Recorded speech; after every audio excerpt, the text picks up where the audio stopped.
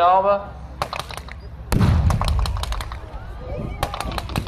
And over on the far side of the arena, the armoured personnel carriers are now coming into the arena to bring in infantry.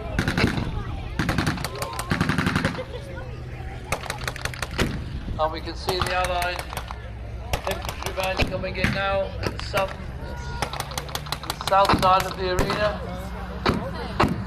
We have the British soldiers following in behind the uh, Valentine DD tank.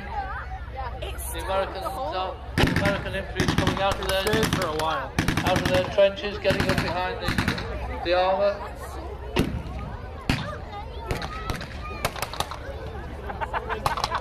Fortunately for the Germans, they have very little.